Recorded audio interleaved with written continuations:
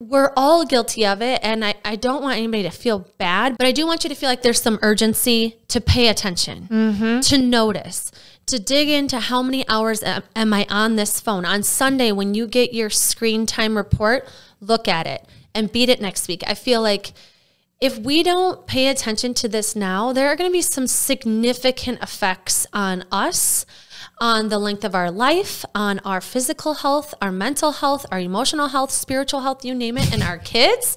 I just feel like we've got to talk about it and act on it in some way, you know, and it doesn't have to be anything big, but I definitely think we need to dig into what the research is telling us so that we mm-hmm. can know some facts we can break this down and live a bigger life that's more focused on what's in front of us. Preach.